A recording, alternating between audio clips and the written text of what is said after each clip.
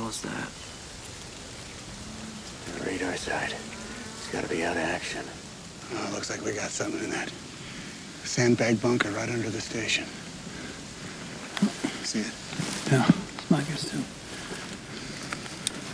What is it? Machine gun, probably MG42. Jesus. Is that what got those guys? Maybe one of them's our boy. No, their patches are 80 seconds, so your luck's not that good.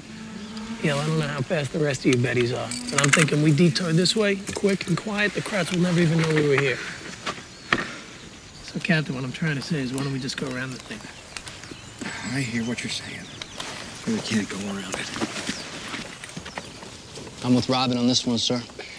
I mean, we left them 88. For the Air Force, the Air Force isn't going to spin ordnance on one machine gun. Uh, Captain. We can still skip it and accomplish our mission. I mean, this isn't our mission, right, sir? Oh, that's what you want to do, Mellish? You just want to leave it here so they can ambush the next company that comes along? No, sir, that's not what I'm saying. I'm simply saying it seems like an unnecessary risk given our objective, sir. Our objective is to win the war. Sir, I just, uh, I don't have a good feeling about this one. When was the last time you felt good about anything?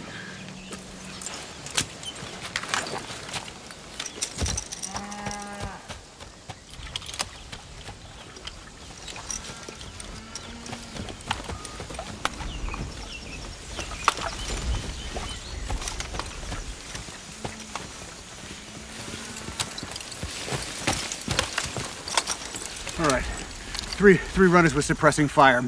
Mellish, you hook to the right, I'll go up to middle. Who's going left?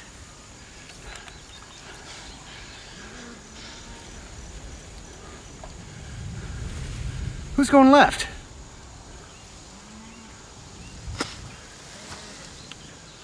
I'll do it. I'll go left. All right. Up and switch off with Jackson. And you linger in the rear. Yes. We advance and keep pressure on him until he has to change out his barrels. I think we should be able to hit him from grenade range. Maybe I should go up the middle, sir. The way you run, I don't think so. Maybe I should go left, sir. Maybe you should shut up. Reiben, base of fire.